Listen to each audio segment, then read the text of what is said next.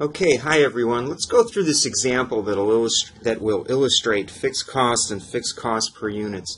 Now, we're going to assume we're running a pizza business, okay? And I don't know if these costs are realistic or not. I just made them up.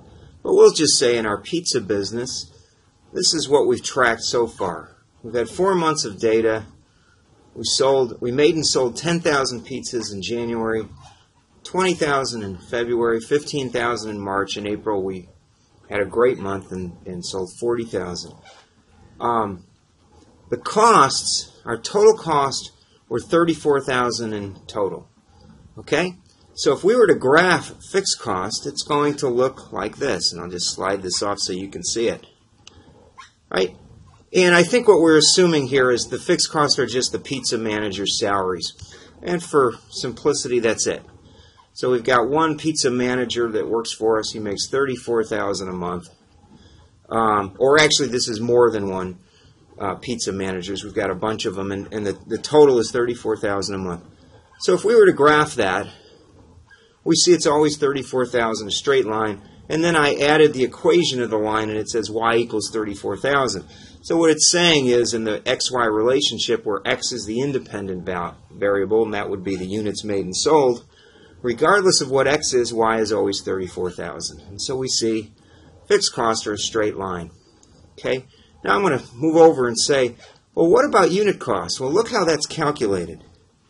You take the cost divided by the units sold. So we have a numerator constantly being divided by a larger number, right? Now, it's, it's a larger number when we line them up between low and high units, not by month right?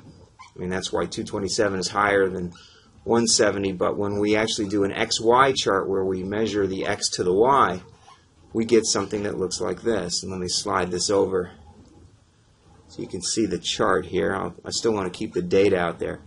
Maybe we can see it through here. Give this a shot move this over. Um, okay, so now you're beginning to see a little bit of the chart, and you see that when we graph this, we, we see that when we had the smallest units, we had the highest dollars per unit, and we had the most units, the end result is the lowest cost per unit. we see that in the data here. So let me slide over a little bit, and I'll show you the whole the whole uh, graph there. Move that out of the way. And so you see that if we were to graph fixed cost per unit, uh, it's a it's a sloped line and it's actually curvilinear, right? It's curved and that's just a result of how the math works.